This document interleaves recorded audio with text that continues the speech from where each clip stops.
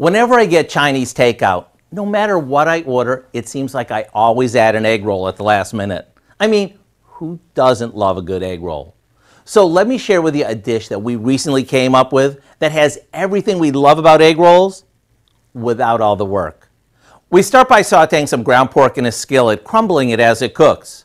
While that finishes up, we mix together some soy sauce, garlic powder, a bit of ginger, and some black pepper. Once the pork is cooked, we add in a bag of coleslaw mix, some cut scallions, the soy sauce mixture, and our secret ingredient, Thai chili sauce. We'll let this cook for a few more minutes until the cabbage starts to soften up.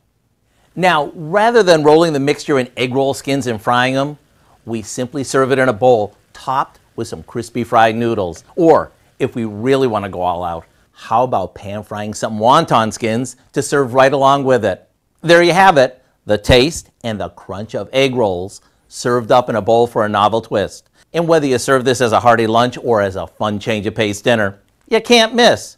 As always, the recipe for our egg roll in a bowl is online now.